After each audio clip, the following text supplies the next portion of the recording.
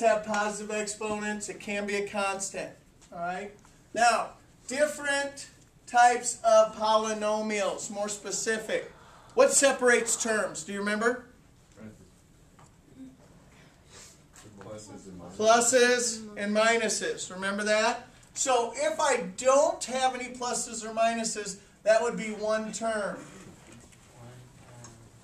That's a monomial. Guess how many terms there are in a binomial, like a bicycle? Two. So I'd have two terms. I'd either have a plus or a minus in oh between those. Trinomial, obviously, three terms. And for our purposes, if we have four or more terms, we're just going to narrow it down to a polynomial. Okay? So you, is this a monomial, binomial, trinomial? And then anything four or more is going to be considered a polynomial. Okay? Now, here's the terms that we're going to focus on right now. Degree, we're going to talk about the type of polynomial, and LC stands for leading coefficient. Leading coefficient. All right? So, let's talk about degree. Now, degree is your largest exponent. If I am doing a polynomial, I am going to put my terms, my terms in descending order. What does descending mean? Going down. Yeah. So if I look and I have all these different terms, I'm going to make sure that descending order, that deals with your exponents, not your coefficients. It deals with the exponents. So if I'm looking here, there are no exponents. This is a constant. What's this degree going to be then? Say it, Howard. Zero. This is a zero. There aren't any degrees. Type, type, that gets specific. We're going to use terms like constant. This is a constant. There's no change. No change at all. No matter what, your output is 4. Other, other uh, types, where is it? What kind of equation is this? What will this make? A line. Guess what this type is called then? Linear. Linear, absolutely. It's degree 1. It's a degree 1. How do I know that's a degree 1? Because X. Because what's x? Who, who was I talking to? Oh, Lex. There's no exponent written. What is it? One. 1. So degree 1 is going to be considered linear. We'll come back to leading coefficient here in a second. What's my largest degree here? 2. So what is this degree what? Degree 2. Anybody know what kind of uh, polynomial this is? We just got done spending a whole chapter talking about them. Quadratics, yeah. So we'll call this a quadratic. Because it's a degree 2. Yes? Degree two because the exponents do. Your largest exponent is 2, yes. Now, you look at this and I see a 2 and a 1. It's like, if you were a woman, you would understand this a little bit, maybe. If a guy comes to you, two guys come to you, Herlika, and they want to marry you, okay? They both get down on a knee exact same time. Honey, will you marry me? And they open up this little box, and there's a ring in there. And you look at one, it says it's a two carat diamond, the other one's a one carat diamond.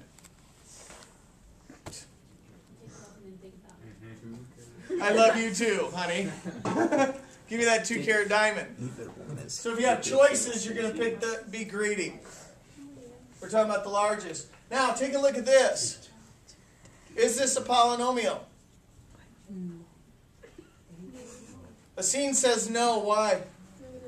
Because you have a negative exponent. Once you have a negative exponent, ladies and gentlemen, we're done with you. We're not going to work with those. Those are not polynomials. Holman, you got that? Yep. We don't like negativity in our world anyway. You're the one that told me about that. Yep. So we just write like no solution? No, we will just skip it. It's not a polynomial. Okay? What's this going to be?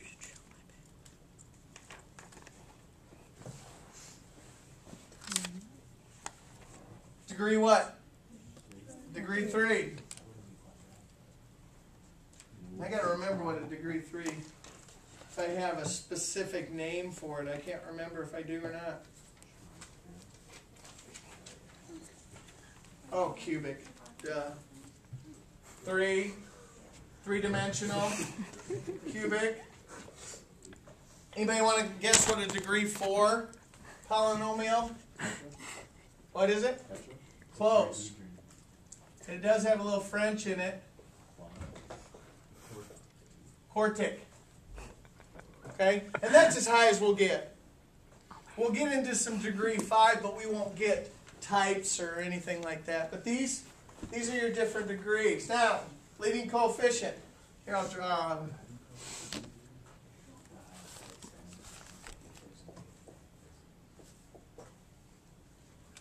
Leading coefficient would be the coefficient of the term with the highest degree.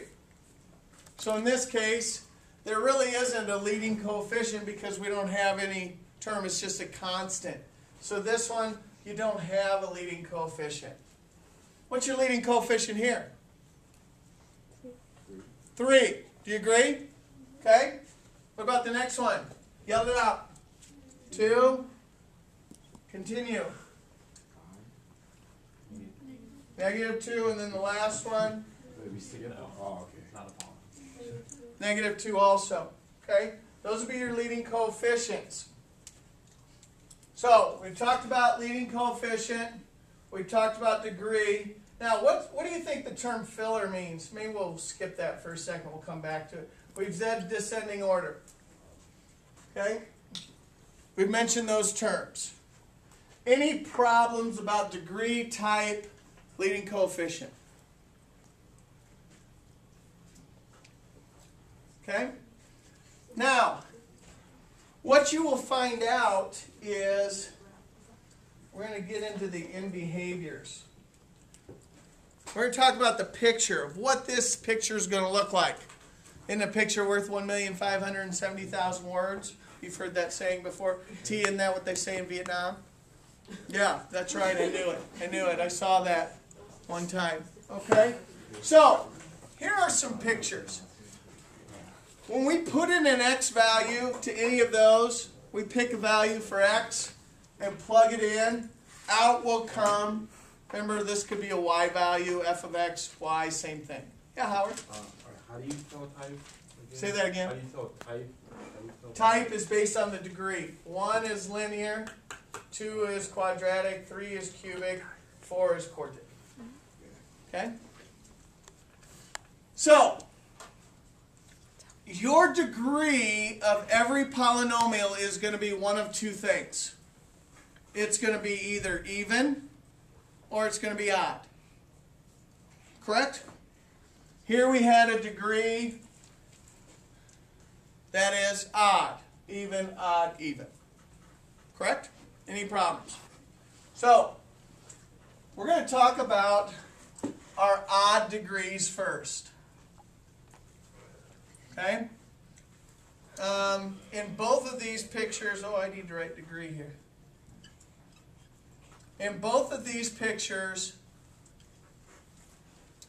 these are pictures of odd polynomials. The reason that I know that it is odd is the end behaviors. End behaviors is talking about the direction that your picture is going. This one's going up, this one's going down. Odds go in opposite directions, up and down. Think about a line. Here it is. Opposite directions. Think about an even, a quadratic. It was either smiling or frowning. What are my end behaviors? Same or different? They're going in the same direction. Same, same, same, same, same, same. Different, different, different, different. Ah!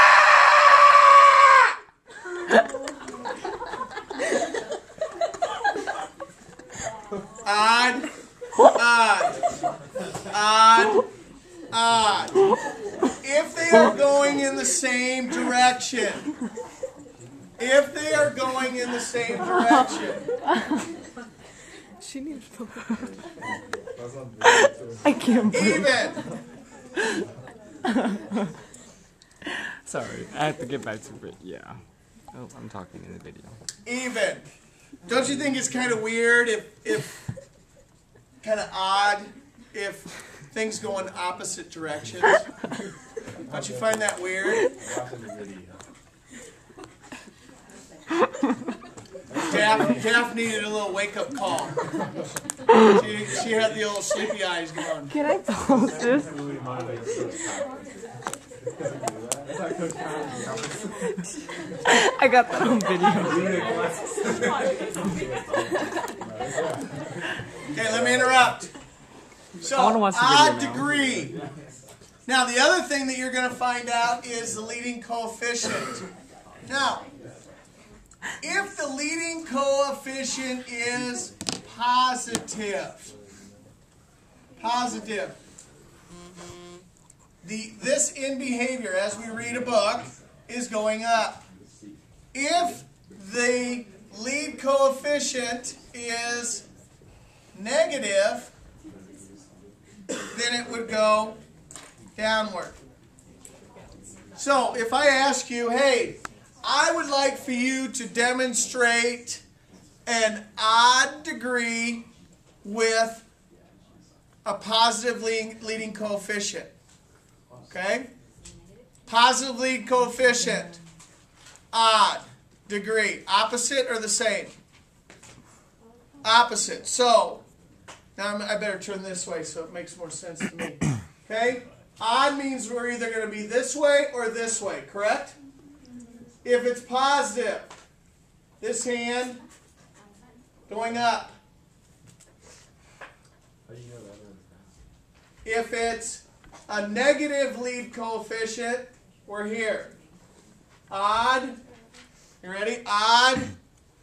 Positive lead coefficient. Odd. Negative lead coefficient. Odd degree. Positive. Odd. And negative. We'll talk about those here. We'll talk about this point in a second. Okay? Now with even, they're going your end behaviors are going in the same direction, either both up or both down. Guess what the leading coefficient is here? Positive or negative, based on our past experiences? Positive, absolutely. And here, negative. Okay? So, ladies and gentlemen, set your stuff down. Just set it down. You don't have to stand, Daff. We're gonna come back to this. No, don't shut it down, brother. We're gonna we're gonna go. Okay, we're gonna come back. We got four seconds to do this. Okay? First of all, I want you to do an even degree positive coefficient. Go. Even degree positive lead coefficient. I gotta turn around. Odd degree. Odd degree positive lead coefficient. Negative lead coefficient odd. Negative lead coefficient even. Okay? When we start class on Thursday after the after we take a quiz, we'll take a short quiz. We're gonna do some aerobics. Make sure you Al, like you said, make sure you stretch. Okay? Alright. Now, what this is saying x values move this direction, correct? Now, as my x value goes to positive infinity, that means it goes forever this direction. What's my what's my y values or my function values going? Are they going up or down? As I move this way, which way is my green line going, up or down? Up. So what would I write here then? It's going to go forever up. Forever up is positive infinity. As I move to the left, do you agree that to the right is positive infinity, to the left is negative infinity? you will have a positive and a negative infinity for all of these. I probably should write them the other way. Yeah, how come the arrow is still going to the right? Huh? How come that arrow by the X is still going to the right? It's, it's just saying as x goes to infinity, as x goes to negative infinity, as x goes to infinity. So I'm going, whoops, that's not fair. So now, you're going to do this every single time with your pictures. These are called end behaviors, describing it. X is going to go to positive infinity every single time. And it's going to go to negative infinity every single time. What you're answering is, what's my picture doing? Is it going up or going down? So in other words, positive infinity is to the right. Negative infinity is to the left. So as I move to the right, am I going up or down with this picture? Up would be positive infinity. So up is also positive infinity, down is negative infinity. As I go to the left, Down. I'm going to negative infinity. As I go to the right, what's happening to my picture? Down. It's going down, which is as I go to the left, what's happening to my picture? It's going up. As I go to the right, what's my picture doing? As I go to the right, what's my picture doing? Up, which is positive infinity. As I go to the left, which is negative infinity, what's my picture doing? Going up again. Positive infinity. Howard. I still don't understand the distinction, like with the X's, like, cause they all look like it's basically saying. They are. So how can you, how do you tell? This is? Basically this is the right side of my picture. This is the left side of my picture. If they're going the same way, like if the arrows are both going the same way, though, how is one negative and how is one positive? I Well- mean, I mean, like on the actual graph, like this, they're both going this way. Yeah. The They're not. They're both going positive. Oh, But my x values have to go positive and negative. so the x values will always be. Always will be this. Okay. Always. But then, um, okay, I get it. Now what's my picture doing on the right side? Both going negative. Yeah, so they're both negative. Yeah. Would your x value still do that if the line didn't cross the y? It will always do that. Always. The x will always be- Forever you will have this on every single a- when you're asked about end behaviors. All the time. This takes practice. It is confusing the first day. But we got some video to look at. We also will do this a lot. Okay? We'll do this a lot. So if, if you're confused by it, be patient. It will come. Yes, ma'am. No, the only thing that's on the quiz is exactly what you did on the review. Okay? Okay, so end behaviors done. Now, the last thing we're going to talk about is these two. And we'll use these. You will learn to love, you will learn to love synthetic and direct.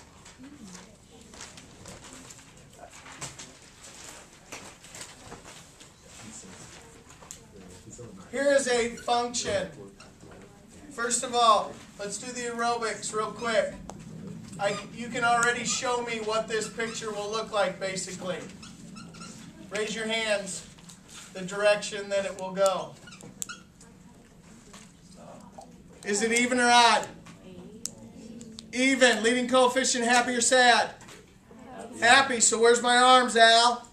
Showing off my armpit hair, right? Yeah. Get out get alfalfa out of your armpit. Alright? Good. So, what we are going to talk about is direct substitution first.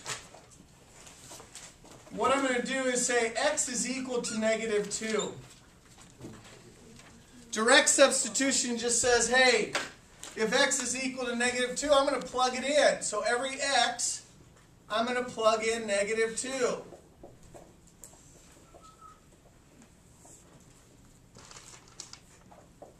Let me put the exponents in. So 4, 3, 2, da da da. Do the math. Negative 2 to the fourth power, positive or negative?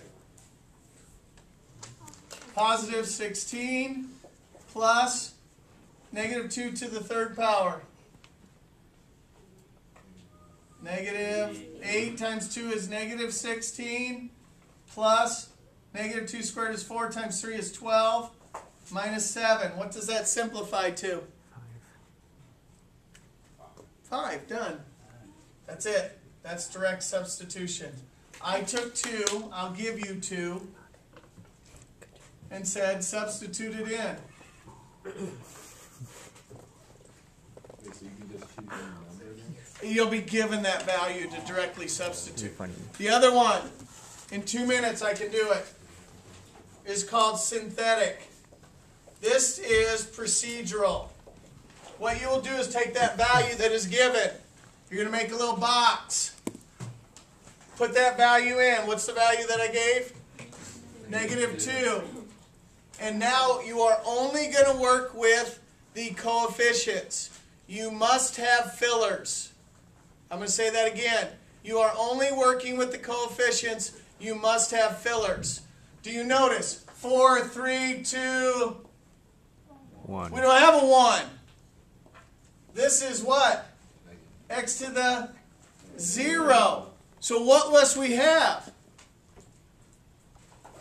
We need a filler in here. 0x to the first. You have to have fillers. It has to be just like a countdown for a blast off. Four, three, two, zero. Who says that? Write your coefficients. One, two, three, zero, negative seven. I'm going to ask you to stay an extra 45 seconds if the bell rings, please. Leave some space. Put a long line. First number, drop it like it's hot. That was tough. Multiply these two. What is it? Negative 2. You're going to take that multiplication and put it below it. The next thing you do is, my good friend, Adam. What does it become? Zero. 0. What are we going to do with these two? Multiply. Write it. My good friend, Adam. Multiply. Write it. My good friend, Adam. Multiply it. Twelve. Write it. My good friend, Adam. Notice you get the exact same thing. Homework's on the blog. Quiz Thursday will be short. Aerobics and learning.